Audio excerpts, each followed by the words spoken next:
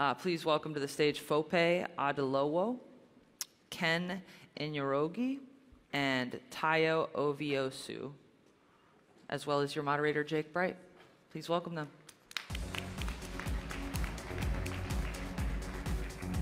Fun. Sorry, I'm just sending them out. No, you did good.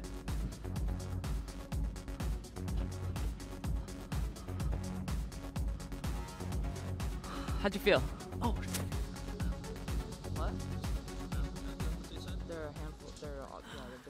Different ones, but yeah. So, hello, Disrupt. Woo. Africa has a tech industry, and when I first started covering it, I actually heard that more as a question than a statement because a lot of people didn't believe it. Uh, seven years later, the continent has its first tech unicorn, thousands of startups, all the big global tech names are moving in. Every other day, we see eight figure VC rounds going to African startups. And today, we have the first Africa panel on a Disrupt stage. So there's a lot to talk about. I want to welcome our panelists, and the way I want to get started is by doing some quick Q&A with each of them on who they are and what they're doing in one of the world's fastest growing tech scenes. So let's start with Fope Adelowo from Helios Investment Partners. Fope, tell us uh, about Helios. Uh, how big are you guys? Uh, so Helios is a private equity fund focused on Africa. Um, we manage about $3 billion of assets under management um, and invest in across asset classes on the continent. I spend my time looking at mostly our tech companies in payment space and retail, um, in healthcare, ed tech as well. And offices in. Uh, So we have offices in London, um, but we also have offices in Nigeria and in Nairobi. and you've also been close to two investments that are, are two of the kind of IPO rumors or possibilities for the continent, right? Can you just name those and say a little bit? I'm Uh, thinking of Mall for Africa and, of course, InterSwitch. Yeah, so um, the two companies I, I spend quite a lot of time with, actually. Um, one is InterSwitch, which is a payments processing company. It's the largest payment processing company in Nigeria um, and also has the largest digital payments platform offering payment solutions for banks, individuals, corporates, and governments. Um, quite an exciting company, high growth story. We can talk mo- a bit more about it. We'll come it. back to that. Yeah, and uh, Mall for Africa is an e-commerce platform allowing African consumers to connect to um, international merchants in the US and the UK. Perfect. We'll come back to that. want to go to Ken Njoroge, CEO and founder of Cellulant, uh, based in Kenya. And Ken, just in a line or two, could you tell the audience um, what you guys do? Yeah, so Cellulant is a integrated payments platform. Uh, we built a payment platform that allows people with bank accounts and people without bank accounts to make payments.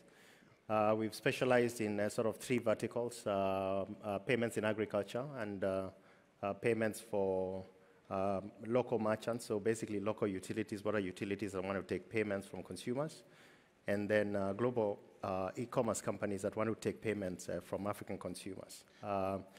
Uh, we differentiate ourselves because uh, we built a footprint across uh, 33 markets in, in Africa, and, uh, and we integrate uh, deeply into these uh, three verticals uh, in terms of differentiation. And you guys raised a little bit of money this year, huh? Yes, we did. Uh, we raised our Series C was a 47.5 million round. Uh, was, led uh, by TPG through the Rise Fund. Um, so this brings our total funds uh, raised uh, just about uh, 15, 57 million dollars uh, to date. Um, yeah, and so we're powering uh, to grow over the next couple of years across uh, across Africa. Yeah, little little preview. We're doing a little Crunchbase Africa project, and I think so far your round is the biggest one raised on the continent this year. So good stuff. Um, Want to go to Tayo Oviosu, CEO and founder of Paga Payments, uh, located in Nigeria. Tayo, can you just say quickly a little bit about Paga and what you guys do on your platforms? Yeah, first of all, thank you, thank you very much, and uh, it's really great to be back home. Um, was here for a while before I moved back to Nigeria. Um, Paga is a mobile payment company, um, and our purpose is to make it simple for one billion people to access and use money. So essentially, what we're trying to do is to solve the problem that is actually exists across the world in a lot of emerging markets of difficult to transfer money and very difficult to leverage money. Um, and so Nigeria is our first market. Uh, technology is built, you know, on the continent. Um, and in Nigeria now, we're the largest mobile payment operator. So very similar to a Venmo in this market, um, where banked users can add their bank accounts, can link their cards, um, and then perform transactions, send money, request money from friends. Um, and then also people who are not banked can actually put money into the wallet, leveraging our network of agents to do transactions. So we, um, so we're very excited about the opportunity, and I'm happy to talk more about the opportunity of this uh, across emerging markets. And just quickly, we'll get deeper into this, but we broke a big headline yesterday at TechCrunch. You guys had some news, Raise, and uh, you're going to go a little bit outside Nigeria. Yeah, that's right. We, um, we announced yesterday that uh, we closed the 10 million Series B two round, um, which, which brings the total we've raised about 35 million. And, and we also announced that we're looking to go beyond Nigeria and indeed beyond Africa. So we're looking at large markets where these problems exist. Um, half the people in the world who are not banked live in seven countries, um, and 60% of those people are actually women. So it's very interesting, but there's a lot of opportunity, and we're looking to take the platform we've built um, outside the continent. And I think the big storyline, and we'll come back to that, was in our conversation that you're actually looking to take on PayPal, um, the big global payment players. So Correct. we'll come back to that, but that's definitely something to note. Uh, so I, I want to start with money. Um, the money always tells a good story, and get into a little bit about the continent's VC investment thesis, and who best to start with on that than Fope. So Fope, just um, quickly, so we give people some background, and how would you characterize the VC market, um, both from your own perspective and continent-wide? What's happened over the last five years in particular, which been the last five to seven years have been pretty big in this market. So how would you characterize uh, some of the changes, the values, the volumes, where things are going, Yeah. um, and where maybe where they might go? Yeah, so I think um, there has been a ton of development in the last five years, and it's super exciting. And I'd say just if you think if you think about it from sort of where the investment is coming from, but even just the ecosystem of players in the space, right? So I think one is you're seeing actually just more founders um, come out and you know develop companies that we can invest in, and by we I mean the investment community. So I think that crop of individuals is growing. Um, then I think, you know, when you look at sort of the investment space, what we've seen in the last few years is just the number of accelerators and incubators that have developed over the continent. Um, that number has increased massively. Um, and I think that's creating sort of a platform or a launch platform for more and more entrepreneurs to develop businesses. Um, when I look at, you know, I, guess private equity funds like ourselves, um, you know, typically we look at bigger um, check sizes. But I think when you, when you think of where growth is likely to come from on the continent, it forces us to look at even the earlier stage companies. So, you know, where you're finding um, what you would call maybe non-traditional VC players actually playing in that space as well. Um, there's definitely still a gap um, from sort of the incubation space um, stage, um, you know, straight out to sort of the exit stage.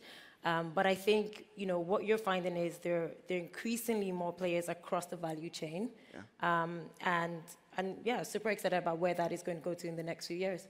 So I want to press a little bit. Uh, TechCrunch did a market engagement trip in Ghana and Nigeria for 10 days, and we had some debates. And I want to play a little devil's advocate because one of the things that we talked about was uh, performance in Africa's tech scene is pretty light so far. And we were talking about how if you're an, a geographic agnostic VC who's only looking for returns, you don't have any kind of pre-existing relationship with Africa, um, it's a pretty performance-like market. Uh, you haven't seen a lot of exits. There hasn't been, um, been an IPO yet.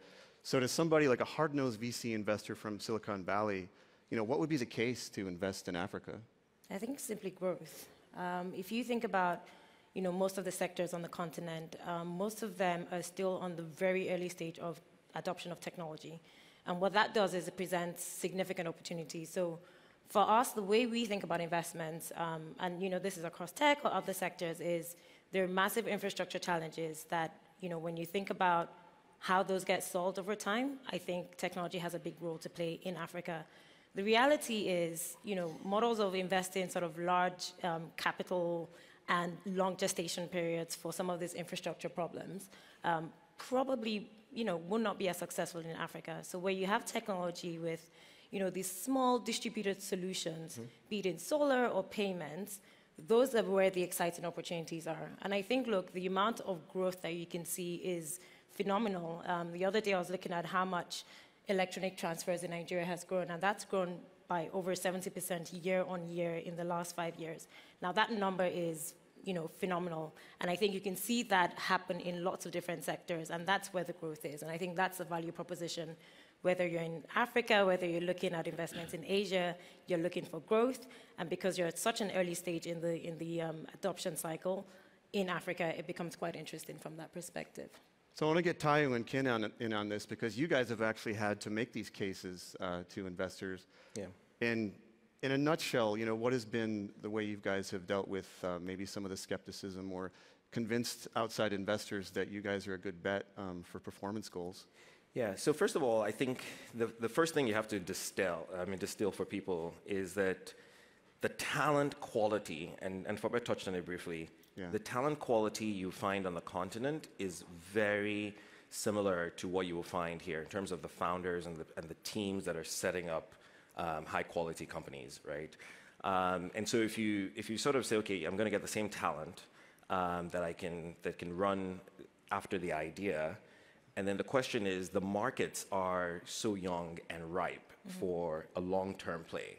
Yeah. So I think you have to be in a bit longer, right, in our markets, right, than you would think in, in, in Silicon Valley.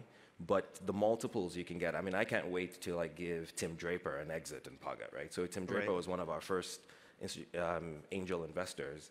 Um, but I know we've more than 20x his money already, right? So based on our last valuation.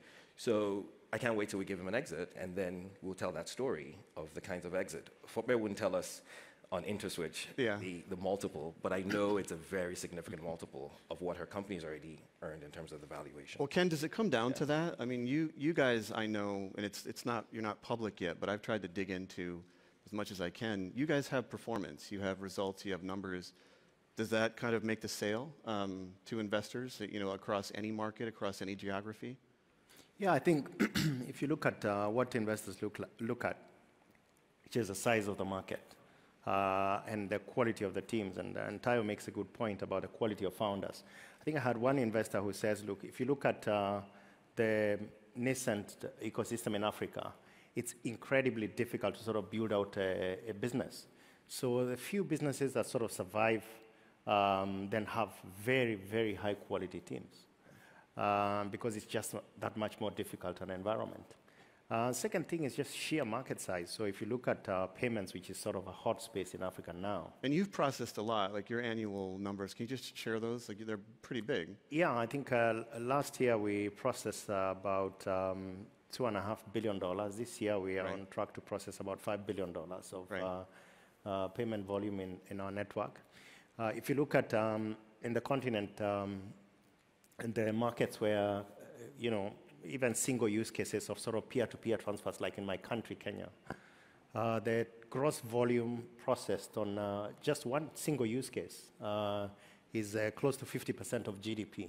Okay. Now, if you extrapolate that across the African continent, uh, which is going to be, uh, let's say, a 1.1, 1.2 trillion dollar GDP in uh, 2020, um, I mean, that's a bloody good business. I mean, um, and, and for a, a payment, and, and the payments models are known. You take uh, 1%, 2%, 3% of gross payment value. It's a huge business. Any investor anywhere in the world is interested in that size of, uh, of opportunity. And just staying on fintech with you, you know, you're in Kenya, you guys have operations in 33 countries. But I wanted to ask how you guys differentiate yourself from Safaricom's M-Pesa. And with M-Pesa now, I think you either have that, like half of you or a percentage of you are totally tired about hearing about M-Pesa as one of the, the continent's most successful payment platforms, or maybe half of you don't even know what they are. But how do you differentiate yourself from them? And, and basically, do you agree that um, the fintech space, which has a lot of opportunity, it's just diversifying across the continent, and, and you guys prove that? Yeah. So M-Pesa is a huge success. I think it's uh, just about 13 years old. It's a, it's a wallet that's primarily, primarily used uh, for P2P. Uh, so it's a combination between a wallet and a cash distribution network. Um, it's $660 million business last financial year, 25 million customers. Um, so it's a huge platform, but it's only in Kenya. Right. Um, and it's primarily a P2P platform. Um, so, in, in a sense, in the sort of stack of uh, payment solutions, it's sort of, uh, you could say, the baseline uh, platform, and that's essentially going to form uh, the foundation for Africa. Uh, what people like us are doing is on, on, the, on the back of those baseline uh, platforms, sort of building these highly specialized multi-country, multi-currency, multi-use case platforms, um, and then giving customers a single pipe, single connection, single contract uh, into payments on the continent. So, uh, so for instance, uh, an, an, internet merchant who wants to uh, charge $5 subscriptions from African consumers. Right. Uh, instead of coming into the continent and finding a license in Kenya, doing a couple of integrations, going to Nigeria, doing another handful of integrations, that sort of thing, you have a single pipe, single uh, API uh, into taking payments from uh, 33 countries. So uh, that, that's a big differentiator, and, and indeed we see a lot of customers because the mobile platform, I think now the continent is somewhere in the region of 250 million smartphones. Right, so right. you can imagine everything that you see on the internet uh, will make its way uh, to an African consumer in one form or another yeah. um, very soon. So. Well, that, that's a good segue. I, I want to talk a little bit about the macro environment hmm. For startups. And I think I, I wrote one time that the, the environment that a lot of African startups, and, I, I'm generalizing a little bit, the continent's big, there's 54 countries, 48 in sub-Saharan Africa, but there are some cross-cutting trends. But that the, the macro environment that African startup founders face would make the toughest Silicon Valley founder just cry and like give up immediately. And I'm thinking of one time when I first met Tayo in his offices in Lagos, and he was telling me about all these plans that he's now made good on, and the electricity just went out as he was telling me. And I flinched, like, what's going on? And Tayo just continued to talk as if nothing happened at all. But yeah. Tayo, on macro environment, like, what are some of the challenges that you yeah. faced? How have they gotten better? Yeah. And how do you improve those things to kind of take away some of the skepticism people have about investing and doing business on the continent? That's a big question, I know. Yeah, no, but I think the, the, the main challenge across most countries on the continent is one of infrastructure um, and the lack thereof. Um, so, but even with that, so for example, talking about electricity, we now have 24 by 7 call center.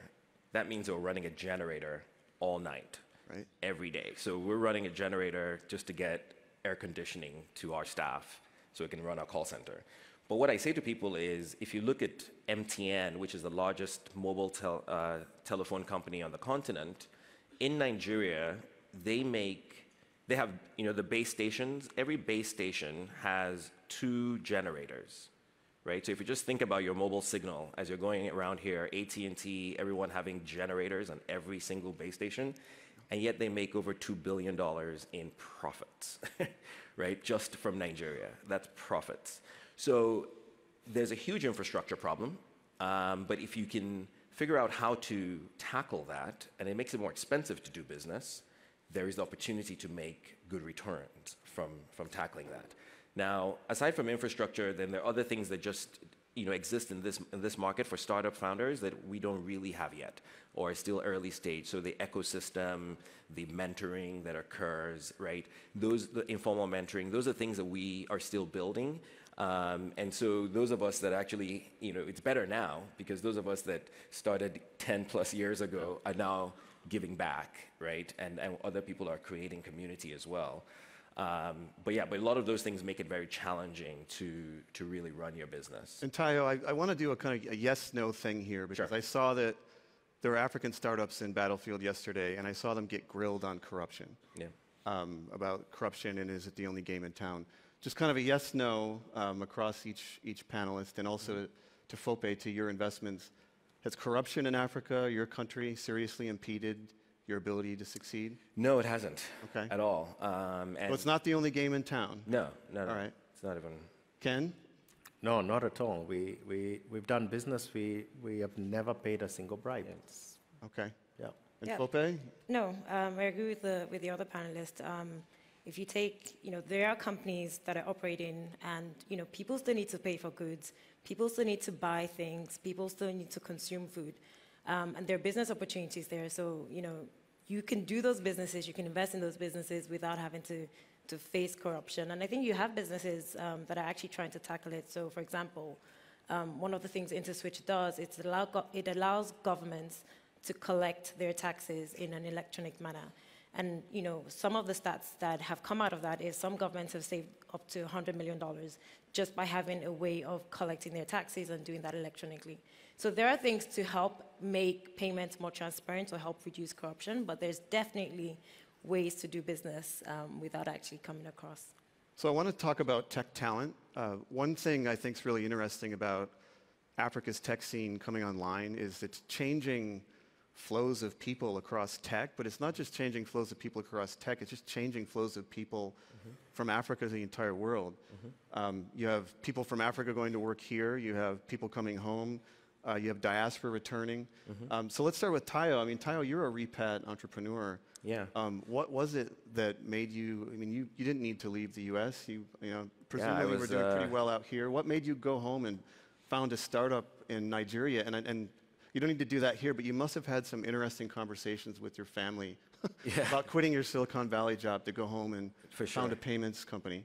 Yeah, no, I mean, I was an engineer here in the Valley, um, and then I was working with Cisco Systems in the acquisitions and venture team, so doing venture capital. Um, and I mean, look, I, I'm, I like to say that I'm a very adventurous person, and if I was not Nigerian, I would have moved back to Nigeria, um, or I'd have moved to Nigeria because of the opportunity um, of that country. So, and I, and I really think specifically about Nigeria, no disrespect to any other African country, but Nigeria is 180 million people. In 50 by 2050 it's going to be the third largest country in the world larger than the us and by 2100 it's going to be the second largest country in the world only second to india.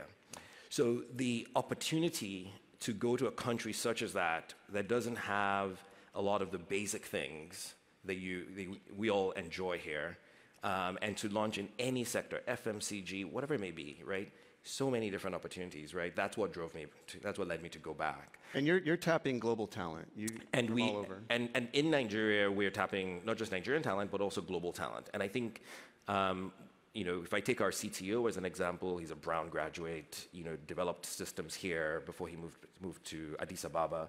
So what's really exciting me now actually is that we now want to take the technology we've built on the continent and go the other way. Yeah. Right. So and, and for me it's very simple. If I'm sitting here in Silicon Valley using Spotify and I'm sitting in Lagos using Spotify, why cannot why can't somebody sitting in Mexico City or Guadalajara be using Paga, right? I mean, we build this platform that is enterprise grade. So I think we're going to start seeing African technology platforms also go to the world. Well, I, I want to come back to that Yeah. um, just quickly. Can you you hire people from all over, right? I mean, your talent pool is Pan African. Is it global? It's yeah. So we, we've got a different situation from um, Tayo. So me and my co-founder are fully uh, born and bred in, Af- in Africa. So we did all our schooling in Africa. Yeah. Uh, interestingly, so we, we refused to go out of the continent because of just sheer opportunity. I mean, close to a billion people, basket full, full of problems to solve, and so on. And we stuck there. Our team is sort of fully African born and bred as well. Um, our engineering is sort of uh, built out of Nairobi and Lagos. Um, and, and, and um, you know, and, and it's a great experience. I mean, we have got uh, good graduates coming out of in engineering school. Um, uh, and uh, of course, we basically exert a lot of effort to uh, uh, expose them to different environments uh, uh, where certain things have been done before um, in the US, in uh, Asia, and so on. Um, and yeah, and, and it's a blend that works. So I think it's a fantastic area. There's lots of good home, homegrown talent. There's lots of uh, good uh, talent that's coming back uh, into, into the country. There's a lot of expert talent that basically wants to sort of um, uh, work in a sort of con- uh, problem context space in the emerging market. So I- I think, um, yeah, I mean, it's a fantastic jo- uh, job hunting, fun, finding talent. It's And on, on the topic, I mean, on this actual panel topic, you both are doing stuff to mentor. And Tayo, you've actually become an angel to some of the young startups on the continent. Just, we have a little bit of time left. Yeah. Um, I guess the, the question is why, and, and you know, I, that shouldn't be a tough question, but you guys are still in the throes of launching your own startups. And Yeah. you know, why have you decided to already start supporting some of these younger entrepreneurs? Yeah, I mean, the, the one thing that doesn't exist in Nigeria is a lot of high net worth individuals are investing in other in startups, right? Um, and so, you know, there's a big gap, especially at that beginning stage. And, and so, for me and my friends who are who are formed an angel club, um, it's about how do we help find entrepreneurs who have great ideas, solving problems. And actually, we're looking at the whole gamut. They're not just tech entrepreneurs. We invested in a pharmacy retail chain. So just to help and, and, and drive um, what people are, you know, give people the opportunity to get their businesses going. Ken, you're, you mentor uh, young startups, and, and Yeah. there's a lot of energy in the younger startup scene, right? I- I- You've You've absolutely. seen this too, right? Yeah. Yeah, and I- it's for the same reasons that people invest in us. I think it's a fantastic opportunity. I mean, the ecosystems are nascent. Um, um, there's absence of capital, so basically, it's a good time to invest. You can get fair pricing. Uh, you can add a lot of value by mentoring, and therefore create much a lot of value. So it's just a very good angel investment proposition. Uh, in addition to to obviously nurturing the ecosystem, which is good for everybody, including ourselves. So I get one question, and it's going to be one, one or two words. So I want each of you guys to name hot tech sectors or countries in Africa, one, one or two countries that aren't Nigeria, Kenya, or South Africa. So Fope, you're on the spot. Um, I'd say Egypt and Rwanda. Um, Okay. Ken? Uh, I would say Ghana and uh, Zambia. Okay. Tayo? I'll, I'll have to go to Egypt. Okay. No Ethiopia anywhere? Okay. Okay. well, we'll conclude with that. Um, thanks a lot. I want to thank the panelists. Thank you, and uh, we hope to have more of you and more of Africa here on the Disrupt stage. And just a note, we have uh, Startup Battlefield Lagos coming up in December. So there'll definitely be more, a lot more TechCrunch uh, in Africa and Africa with TechCrunch. Thank you very much. Thank you. Thank you. Thank you.